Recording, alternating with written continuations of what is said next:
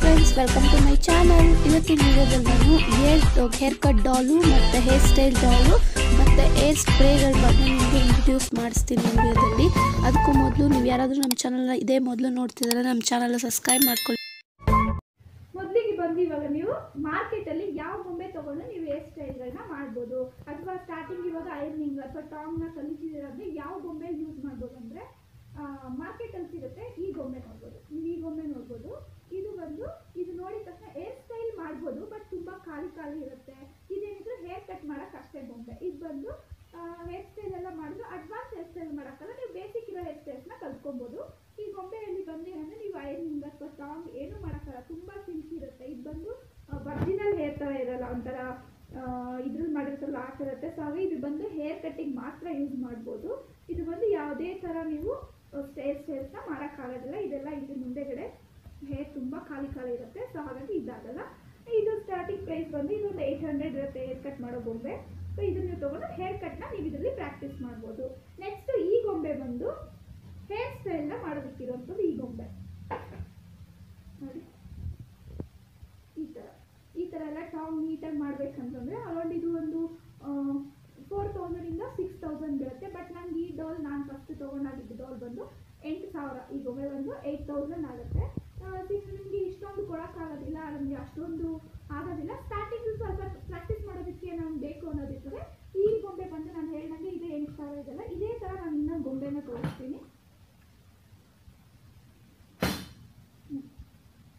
ನೋಡಿ ಸೇಮ್ ಈ ಗೊಂಬೆನೂ ಇದೇ ಥರನೇ ಇರುತ್ತೆ ಸೊ ನೀವು ಈ ಗೊಂಬೆನ ತೊಗೊಂಡು ಟ್ರೈ ಮಾಡ್ಬೋದು ಅರೌಂಡ್ ಇದನ್ನು two four thousand four thousand five hundred ಅಥವಾ ಫೈವ್ ತೌಸಂಡ್ ಆಗುತ್ತೆ ಸೊ ಈ ಥರದಲ್ಲಿ ತೊಗೊಂಡು ನೀವು ಟ್ರೈ ಮಾಡಿ ಆಮೇಲೆ ಇನ್ನೂ ಒಂದು ಬರುತ್ತೆ two thousand two hundred thousand five hundred ಎಲ್ಲ ಬರುತ್ತೆ ಎಕ್ಸ್ಚೇಂಜ್ ಮಾಡೋಕ್ಕೆ ಬಟ್ ಆ ಗೊಂಬೆಗಳೆಲ್ಲ ನಿಮಗೆ ಮಾಡೋದಕ್ಕೆ ಆಗೋದಿಲ್ಲ ತುಂಬ ಸಿಕ್ಕಿರುತ್ತೆ ಅದರಲ್ಲಿ ಸೊ ಈ ಥರ ತೊಗೊಂಡ್ರೆ ನಿಮ್ಗೆ ಯಾವುದೇ ಥರ ಸಿಕ್ಕಿಲ್ದಿರ ನೀವು ಒಳ್ಳೊಳ್ಳೆ ಹೇರ್ ಸ್ಟೈಲ್ ಅಡ್ವಾನ್ಸ್ ಹೇರ್ ಸ್ಟೈಲ್ನೆಲ್ಲ ನೀವು ಈ ಬೊಮ್ಮೆನಲ್ಲಿ ಪ್ರಾಕ್ಟೀಸ್ನ ಮಾಡ್ಬೋದು ನೀವು ಯಾವ್ದು ತೊಗೊಂಡ್ರೆ ತುಂಬ ಕಮ್ಮಿ ಪ್ರೈಸ್ ಅಂತು ಅಥವಾ ಟಾಂಗು ಮಾಡೋಕ್ಕಾಗಲ್ಲ ಮತ್ತು ಐನಿಂಗು ಮಾಡೋಕ್ಕಾಗಲ್ಲ ಅದರಲ್ಲಿ ಎರಡು ಹೇರ್ ಸ್ಟೈಲ್ ಪ್ರಾಕ್ಟೀಸ್ ಮಾಡ್ಬೋದು ಬಟ್ ನೀವು ಐನಿಂಗ್ ಸ್ಟ್ರೈಟ್ ಕೂದಲು ಮಾಡೋದಕ್ಕೆ ಅಥವಾ ಈ ಥರ ರಿಂಗ್ ರಿಂಗ್ ಎಲ್ಲ ಮಾಡೋದಕ್ಕೆ ಬೇಕಂದರೆ ನೀವು ಆದಷ್ಟು ಇನ್ವೆಸ್ಟ್ಮೆಂಟ್ ಮಾಡಲೇಬೇಕು ಫೋರ್ ತೌಸಂಡಿಂದ ಫೈವ್ ತೌಸಂಡ್ ನೀವು ಇನ್ವೆಸ್ಟ್ಮೆಂಟ್ ಮಾಡಿ ನೀವು ತೊಗೊಂಡು ಇದನ್ನು ಪ್ರಾಕ್ಟೀಸ್ ಮಾಡ್ಬೋದು ಇವಾಗ ನಿಮ್ಗೆ ಇದು ಡಿಫ್ರೆನ್ಸ್ ಗೊತ್ತಾಯ್ತಲ್ವಾ ಇದು ಹೇರ್ ಕಟ್ ಮಾಡೋ ಗೊಂಬೆ ಇದು ಬಂದು ಏಯ್ಟ್ ಹಂಡ್ರೆಡ್ ಸೆವೆನ್ ಹಂಡ್ರೆಡ್ಗೆಲ್ಲ ಸಿಗುತ್ತೆ ಈ ಗೊಂಬೆ ಬಂದು ಫೋರ್ ತೌಸಂಡ್ ಸಿಗುತ್ತೆ ಈ ಥರ ಗೊಂಬೆ ಎಲ್ಲ ಸ್ವಲ್ಪ ರೇಟ್ ಜಾಸ್ತಿ ಇರೋದೆಲ್ಲ ತೊಗೊಂಡ್ರೆ ಲಾಂಗ್ ಲಾಸ್ಟಿಂಗ್ ಬರುತ್ತೆ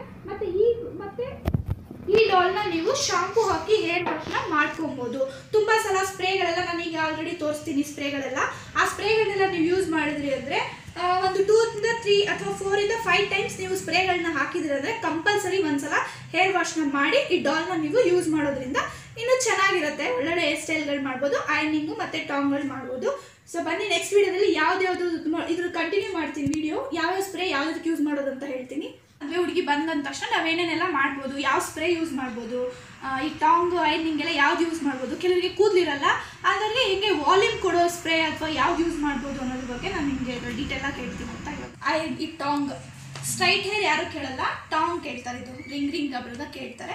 ಅದು ಹೇಗೆ ಲಾಂಗ್ ಲಾಸ್ಟಿಂಗ್ ಇರೋದು, ಅಥವಾ ಈ ಥರ ಪರ್ಫೆಕ್ಟಾಗಿ ಹೇಗೆ ಬರೋದು ಅನ್ನೋದ್ರ ಬಗ್ಗೆ ಡೀಟೇಲಾಗಿ ಹೇಳ್ತೀನಿ. ಸೊ ಇವಾಗ ಒಂದು ಹುಡುಗಿ ಬಂದರು ಮದುವೆ ಹುಡುಗಿ ಬಂತಂದರೆ ನಾವು ಸ್ಟಾರ್ಟಿಂಗ್ ಏನು ಮಾಡ್ತೀವಿ ಕೂದಲನ್ನ ನೀಟಾಗಿ ಡ್ರೈ ಮಾಡ್ಕೊತೀವಿ ಫಸ್ಟಿಗೆ ನೀವು ಏನೇ ವರ್ಕ್ ಮಾಡಂಗಿದ್ರು ಡ್ರೈ ಮಾಡಿ, ಮತ್ತೆ ಐರ್ನಿಂಗ್ ಮಾಡಿ, ನಂತರ ನೀವು ಟಾಂಗ್ನ ಮಾಡಬೇಕಾಗತ್ತೆ.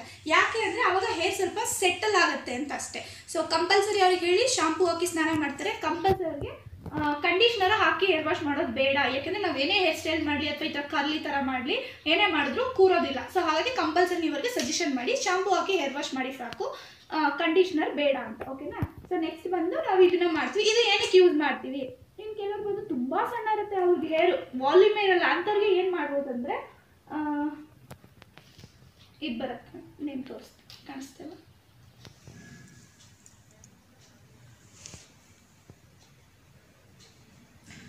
ಈ ಸಿರಮ್ನ ಸ್ವಲ್ಪನೇ, ಅಂದರೆ ನೀವು ಯಾವ ಸ್ಪೇಸ್ಗೆ ಇವಾಗ ಮಾಡ್ತೀರೋ ಆ ಸ್ಪೇಸ್ಗೆ ಸ್ವಲ್ಪ, ಇಷ್ಟು ಥರ ಇಷ್ಟು ಕ್ವಾಂಟಿಟಿ ಸಾಕು. ಇದನ್ನ ಜಸ್ಟ್ ಹಿಂಗೆ ಮಾಡಿ ಆ ಜಾಗಕ್ಕೆ, ನೀವು ಎಲ್ಲಿ ಮಾಡ್ತೀರೋ ಆ ಜಾಗಕ್ಕೆ ನೀಟಾಗಿ ಮಾಡ್ಕೊಂಬಿಟ್ಟು ನಂತರ ನೀವು ಬ್ಲೋ ಡ್ರೈನ ಮಾಡೋದ್ರಿಂದ ಏನಾಗುತ್ತೆ? ಸ್ವಲ್ಪ ವಾಲ್ಯೂಮ್ ಬರುತ್ತೆ. ಸ್ವಲ್ಪ ವಾಲ್ಯೂಮ್ ಸಿಗುತ್ತೆ. ಸೊ ಫುಲ್ ಹೇರ್ ಸ್ವಲ್ಪ ಇದನ್ನ ಸ್ಪ್ರೇ ಮಾಡಿಬಿಟ್ಟು ಫುಲ್ ಹೇರ್ಗೆ ನೀವು ಬ್ಲೋ ಡ್ರೈ ಕೊಡ್ತೀರಂದ್ರೆ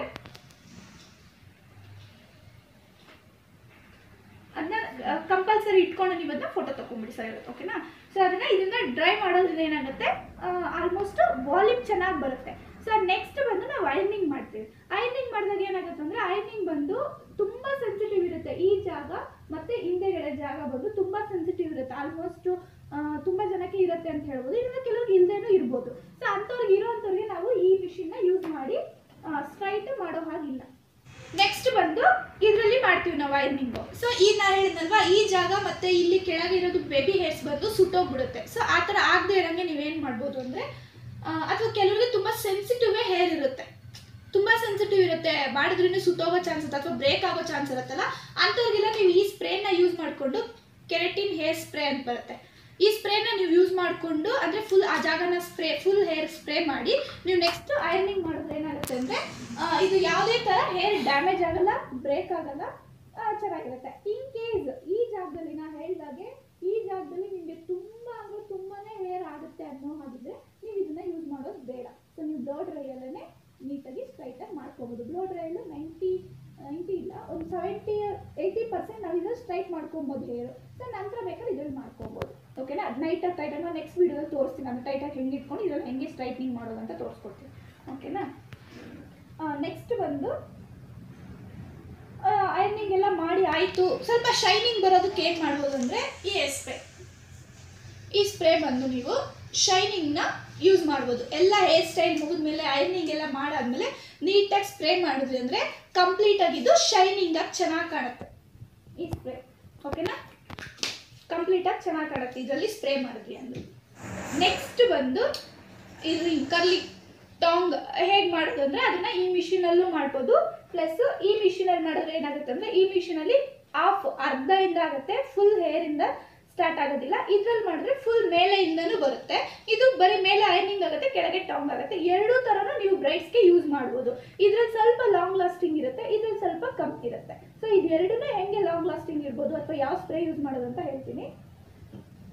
ಸೊ ನೆಕ್ಸ್ಟ್ ಬಂದು ಇದರಲ್ಲಿ ಟಾಂಗ್ನ ಮಾಡೋದು. ನೆಕ್ಸ್ಟ್ ವಿಡಿಯೋದಲ್ಲಿ ನಾನು ತೋರಿಸ್ಕೊಡ್ತೀನಿ ಹೆಂಗೆ ಇದರಲ್ಲೆಲ್ಲ ಮಾಡ್ಬೋದು ಟಾಂಗ್ ಅನ್ನೋದನ್ನ. ಸೊ ಇದನ್ನ ಹೆಂಗೆ ಲಾಂಗ್ ಲಾಸ್ಟಿಂಗ್ ಇರಿಸೋದು ಅಂತಂದ್ರೆ, ಇದನ್ನ ಮಾಡೋದಕ್ಕಿಂತ ಮೊದಲು ಈ ಕ್ರೀಮ್ನ ಯೂಸ್ ಮಾಡಬೇಕು. ಓಕೆನಾ ಈ ಕ್ರೀಮ್ನ ಯೂಸ್ ಮಾಡೋದ್ರಿಂದ ಏನಾಗುತ್ತೆ ಅಂದರೆ ಫಸ್ಟಿಗೆ ಸ್ವಲ್ಪನೇ ಕ್ವಾಂಟಿಟಿ ಸಾಕು. ಒಂದು ಸಕ್ಷನ್ ತೊಗೊಂಡ್ರೆ ಇಷ್ಟು ಕ್ವಾಂಟಿಟಿ ಸಾಕಾಗುತ್ತೆ. ಕಾಣಿಸ್ತದೆ ಇಷ್ಟು ಕ್ವಾಂಟಿಟಿ ಸಾಕಾಗುತ್ತೆ. ಅದನ್ನು ತಗೊಂಡು ಈ ಹೇರಲ್ಲಿ ಎಷ್ಟು, ಇವಾಗ ನೀವು ಎಷ್ಟು ಹೇರ್ನ ಟಾಂಗ್ ಮಾಡ್ತೀರಾ, ಆ ಹೇರಲ್ಲಿ ನೀಟಾಗಿ ಈ ಥರ ಅಪ್ಲೈ ಮಾಡ್ಕೋಬೇಕಾಗತ್ತೆ. ಈ ಥರ ಅಪ್ಲೈ ಮಾಡಿಕೊಂಡು ನಂತರ ನೀವು ಇದನ್ನ ಇಟ್ಕೊಂಡು ಮಾಡ್ಕೋಬೋದಾಗುತ್ತೆ. ಇದು ಬಂದು ಒಂದು ಮೆಥಡ್ ಅಂದರೆ ನೀಟಾಗಿ ಕರ್ಲಿ ಆಗುತ್ತೆ ಅಂತ. ಇದನ್ನು ಮಾಡೋದ್ರಿಂದ ನೀಟಾಗಿ ಸ್ಟಿಪ್ಪಾಗಿ ಕೂರುತ್ತೆ ಕಲ್ಲಿ ಚೆನ್ನಾಗಿ ಕೂರುತ್ತೆ ಅಂತೇಳಿ. ಮತ್ತೆ ಇದನ್ನ ಲಾಂಗ್ ಲಾಸ್ಟಿಂಗ್ ಹೆಂಗೆ ಮಾಡ್ಬೋದು ಅಂದ್ರೆ ಈ ಸ್ಪ್ರೇನ ಹೊಡೆದ್ರೆ ಲಾಂಗ್ ಲಾಸ್ಟಿಂಗ್ ಇರುತ್ತೆ.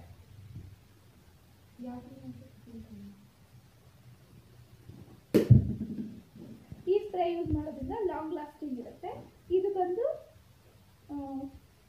ಮೆಗಾ ಸ್ಟಾರ್ಟೆಡ್ ಫೈವ್ ಅಂತಿದೆ ಇದರಲ್ಲಿ. ಇದರಲ್ಲಿ ಫೈವ್ ಇದರಲ್ಲಿ ಸೆವೆನ್ನು ಏಯ್ಟು ಸಿಕ್ಸು ಈ ಥರನೂ ಬರುತ್ತೆ ನಂಬರ್ಸು ಇದು ಸಾಕಾಗುತ್ತೆ. ಇದನ್ನು ಯೂಸ್ ಮಾಡ್ಕೊಬೋದು. ಅಥವಾ ಇದನ್ನು ಯೂಸ್ ಮಾಡ್ಬೋದು. ಈ ಸ್ಪ್ರೇ ಕೂಡ ಯೂಸ್ ಮಾಡ್ಬೋದು. ಎರಡರಲ್ಲಿ ಯಾವ್ದು ಯೂಸ್ ಮಾಡಿದ್ರು? ಚೆನ್ನಾಗಿರುತ್ತೆ. ನಂತರ ಮುಗ್ದಿದ ತಕ್ಷಣ ಆಲ್ವೇಸ್ ನಾನು ಇದು ಹೇಳ್ದಂಗೆ ಈ ಸ್ಪ್ರೇನ ಯೂಸ್ ಸ್ಪ್ರೇ ಮಾಡಿದ್ರೆ ಅಂದರೆ ಶೈನಿಂಗ್ ಚೆನ್ನಾಗಿ ಕಾಣುತ್ತೆ. ಸ್ವಲ್ಪ ಡಾರ್ಕ್ ಆಗಿ ಶೈನಿಂಗ್ ಆಗಿ ಚೆನ್ನಾಗಿ ಕಾಣುತ್ತೆ ಈ ಸ್ಪ್ರೇ ಯೂಸ್ ಮಾಡಿದ್ರೆ. ಇದು ಒಂದು ಸ್ಪ್ರೇ ಬರುತ್ತೆ. ಇವಾಗ ನಾನು ಇದನ್ನ ಯೂಸ್ ಬಂದೆ. ಈ ಸ್ಪ್ರೇ ಹೇಳದ್ನಲ್ಲ, ಇದು ಬಂದು ಟಾಂಗ್ ಇರೋದಕ್ಕೆ ಅಂತ ಹೇಳಿದೆ ನಾನು. ಟಾಪ್ ನಿಲ್ಲೋದಕ್ಕೆ ಅಂತ. ಈ ಸ್ಪ್ರೇ ಬಂದು ಸ್ವಲ್ಪ ವಾಲ್ಯೂಮ್ ಬರೋದಕ್ಕೆ ಅಂತ. ಸೊ ಅದೇ ಥರನೇ ಈ ಸ್ಪ್ರೇನು. ಈ ಸ್ಪ್ರೇನಲ್ಲೂ ತುಂಬ ಟೈಪ್ಸ್ ಇರುತ್ತೆ. ಇದರಲ್ಲಿ ಸ್ಟ್ರೈಟ್ನಿಂಗ್ ಬರುತ್ತೆ ಸ್ಟೇ ಲಾಂಗ್ ಸ್ಟೇ ಇರೋದು ಬರುತ್ತೆ. ಇದರಲ್ಲಿ ವಾಲ್ಯೂಮ್ ಅಂತಾನೂ ಬರುತ್ತೆ, ಈ ಜಾಗದಲ್ಲಿ ವಾಲ್ಯೂಮ್ ಅಂತ ಬರುತ್ತೆ.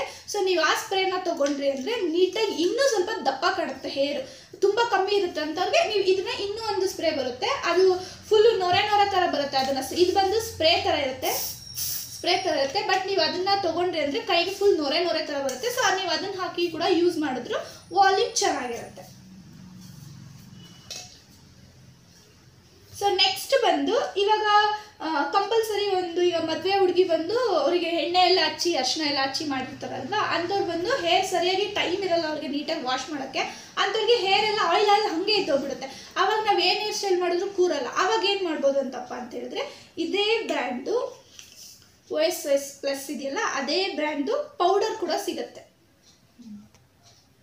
ಈ ಪೌಡರ್ನ ಯೂಸ್ ಮಾಡೋದ್ರಿಂದ ವೈಟ್ ಕಲರ್ ಇರುತ್ತೆ ಪೌಡರ್ ಇದು. ಈ ಪೌಡರ್ನ ಯೂಸ್ ಮಾಡೋದ್ರಿಂದ ಏನಾಗುತ್ತೆ?